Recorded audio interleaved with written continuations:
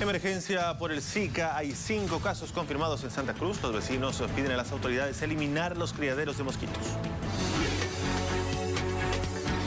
El día de ayer hemos eh, recibido el informe de Cenetrop, un nuevo caso de, de Zika de un niño de 5 años, del sexo masculino, que este, fue atendido en un centro de salud. El paciente está en, en, buen estado, no tiene ninguna complicación. Este año tres casos, dos del año pasado, son cinco casos en total. Hay hartos mosquitos, por eso, eh, esas aguas, esos pastos ahí también están, están grandes. Y que esa laguna es todo el tiempo, esa laguna que está ahí, y usted entra, entre el día todingo es de mosquitos. Y que hay hartos niños que están pasando clases y esas enfermedades, ¿cómo podemos prevenir? Es haciendo desaparecer el lago. Es pedir a la honorable alcaldía municipal que realice el retiro de las llantas que se encuentran en la ciudad, así como también la limpieza de los, de los terrenos baldíos que existen en la ciudad. Todo monte está ahí horrible, mira, no se puede pasar clase. Que hay harto mosquito y los chicos están llenos de roncha, mire las hierbas están llenitos de curso de, de paja, todo eso, ¿no? Hay tantos mosquitos aquí, ahorita de esta enfermedad que dicen el chikungunya, el zika,